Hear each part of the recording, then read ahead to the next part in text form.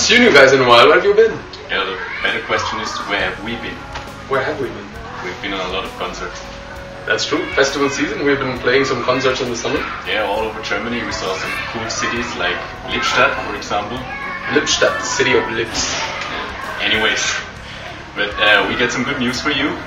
Some big news. Some really big news. Well, as you guys know, in uh, one video of ours we posted about two months back that we were planning a tour to India, and now we're actually in the initial stages of finalizing this tour. We're not going to tell you the exact dates and exact locations where we're going to be touring, but um, we'll give you a hint. It's going to be in the winter, probably in the last two months of this year, and we're actually really looking forward to it. Yeah, I am. yeah, me too. I mean, I've been there before, Yeah, me not. but it's not going to be that hot. It's actually pretty hot in Germany. Even though I'm wearing a jacket, you don't know, but it's quite hot.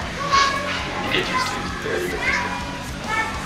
Plus, we have some uh, new footage coming up of um, our new songs. We have some material in in Progress. progress, whatever you call it. Actually, And we got new, uh, two, three new ideas that working on. Yeah, and we will be posting some videos how we worked on that song, songs, and um, how we practice them.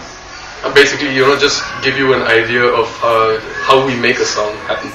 And there might be a lot of shouting involved in these videos, a lot of disappointment, but uh, it's going to be quite interesting. I'm, I'm actually this is the first time we're doing something like that, so I'm pretty I'm pretty excited to see. Yeah.